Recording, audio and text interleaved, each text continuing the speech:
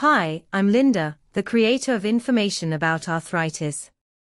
If you are new to this channel, then don't forget to subscribe.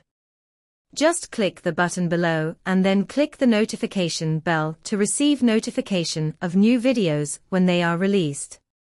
Also don't forget to visit my website, where you can find out more information about these terrible diseases.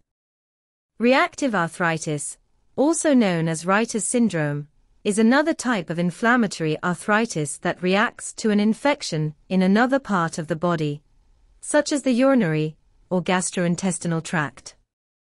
It is called reactive because the joint inflammation occurs as a reaction to an infection. Reactive arthritis mainly affects the joints, causing pain, swelling, and stiffness. The symptoms of reactive arthritis can be grouped into three parts First is arthritis symptoms. In this group, you may have joint pain and inflammation of the knees, feet, and ankles. You may develop inflammation of the tendons which are attached to the bones. This could cause your fingers to become shorter and thicker. Developing heel spurs is another symptom that causes chronic pain especially when you walk. Also, inflammation of the spine called spondylitis, and lower back joints called sacroiliitis. Number 2 is eye inflammation. Some people with reactive arthritis may experience inflammation of the eyes called conjunctivitis, or inflammation of the uvea called uveitis. This can lead to redness, pain, and blurred vision. The third group is symptoms of the urinary tract. For men you could develop an increased urine, a burning sensation, or an inflamed prostate gland called prostatitis. The symptoms of women could be inflamed cervix and urethra, also burning sensation during urination, or inflammation of the fallopian tubes called salpingitis, or vulva and vagina. You are nine times more likely to develop reactive arthritis if you are male. The second is if you have an illness from contaminated food. Sexually transmitted diseases such as chlamydia, also an intestinal infection, which can be from Salmonella or Shigella. The first treatment for reactive arthritis could include a clinical evaluation from your healthcare provider, who will do a physical examination and review your medical history, including any recent infection. Then they may give you a blood test to check for markers of inflammation and to identify specific antibodies. You may also have fluid taken from the affected joint to check for signs of inflammation and rule out other conditions. Or you could have microbiological tests done for infection, such as cultures or molecular tests for bacteria, may be done to identify the triggering pathogen. Antibiotics.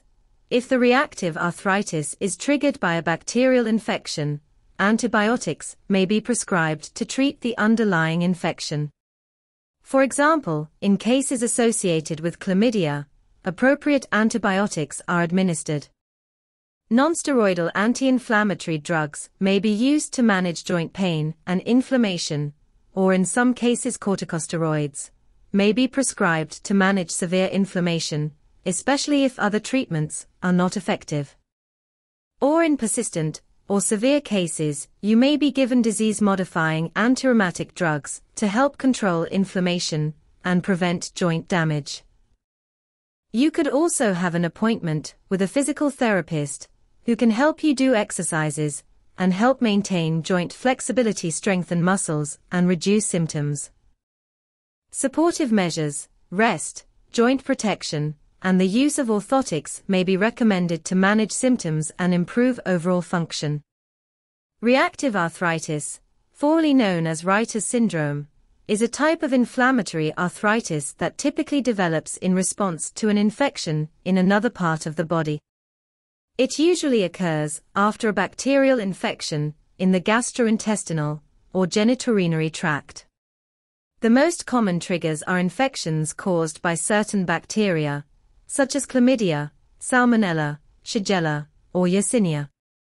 It's important for individuals with symptoms suggestive of reactive arthritis to seek medical attention promptly.